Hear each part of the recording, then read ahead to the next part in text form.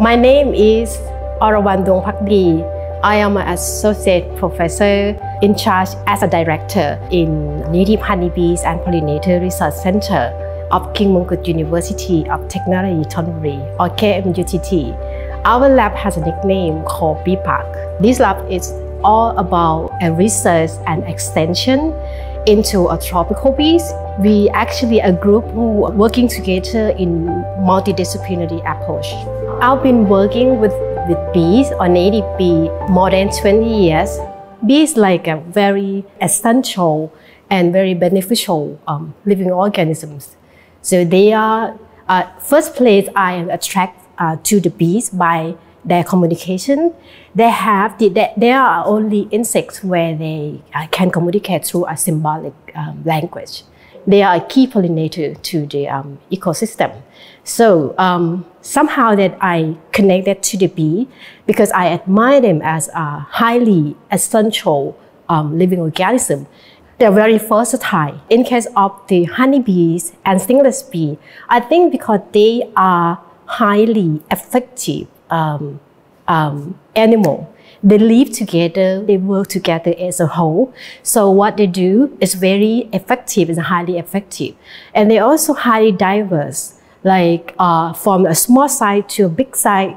And, and um, the habitat that they live is uh, ranks from a virgin forest until um, um, to our backyard, for example. So they live everywhere. Pollinator is very important Number one is to maintain biodiversity. As a pollinator, they uh, transfer a genetic between the tree. So uh, they uh, maintain and they um, strengthen uh, biodiversity in the natural habitat. Uh, number two, I think, um, to restore our biodiversity in a disturbed area or in the um, ecological um, restoration. Um, it's, it's 10 times faster with bee compared to without bees. Uh, number three, I think it's um, the, the pollinator uh, helping human society by strengthening uh, food security. As you know, the pollinator helps to increase a yield of food crops. So um, I think this is the, the, the three main um, roles of pollinators. Honey is uh, a superfood. They are always a recipe uh, in a medicine and, and a, a special food uh, since long time ago, like uh, uh, 10,000 years ago. The, um, the honey is a superfood because they comprise with functional property. For example, they had a very high antioxidants, anti-inflammatory, um, uh, the um, anti-cancer and it's also um, the um, detoxification abilities. We had tested more than 50 sample of honey, which collect from native honeybees, stingless bee, the European honeybees, and the famous honey that import in Thailand. So the result that we had found is that um, the native honey, native bee honey, is always fall into a top quality. A lot of people is underrate the tropical honeys. They just see it's like a sweetness. They don't look at it as a functional property. The sustainable honey production is very important. We have to remark this. But first of all, sustainable honey production compared with two things.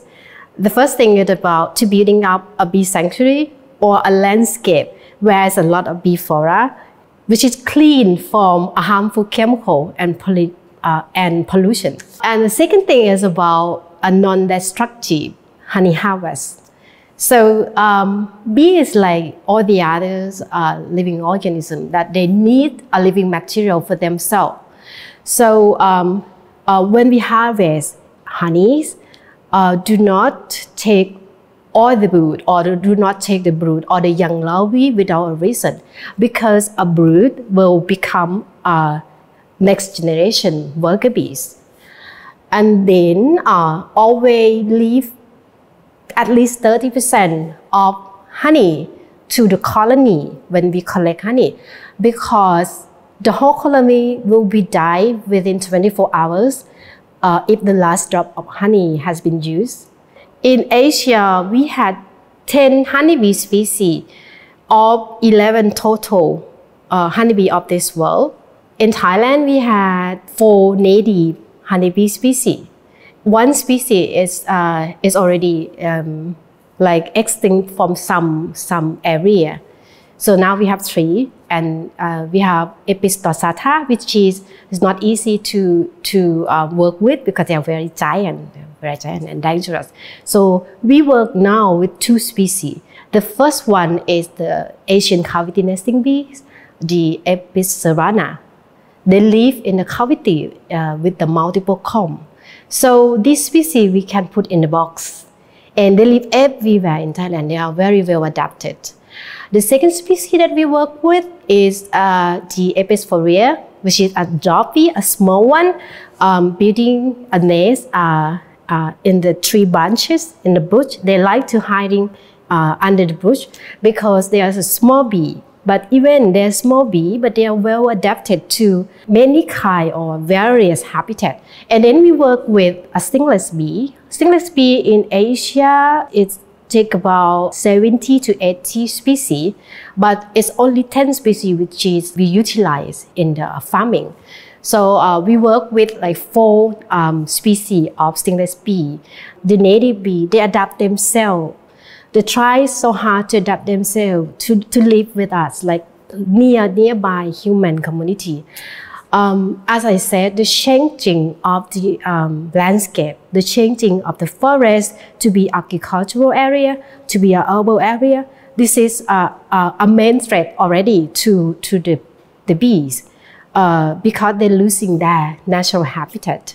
But bees are still that they're trying to adapt themselves to stay under that, that threat. Pesticide always come with the uh, come with the agriculture. So if the losing habitat uh, will be a first disaster for native bees, the pesticide will be a second disaster. It's like a final nail to the coffin, you know, because uh, they tried so hard already and they left the field already because of losing the habitat. If you're using a pesticide, pesticide will kill all the colony. So um, using pesticide will kill uh, native bees, uh, in the area within a few years, it will extinct from the areas. Bee Park has available um, research knowledge about a native beekeeping. Um, we call bee science technology, which is a technology where uh, where we do a small scale beekeeping with uh, native honeybees and stingless bee. The small scale beekeepings can apply or can implement in a small area or the fragmented area. So um, the technology that we have now is can be implemented in um, a various type of uh, habitat. Because Southeast Asia is a biodiversity hotspot. So people live careless to, to all the living organisms. So they take more than gives. Um, so I think the, the, high, the, the biggest challenge in this is about the awareness.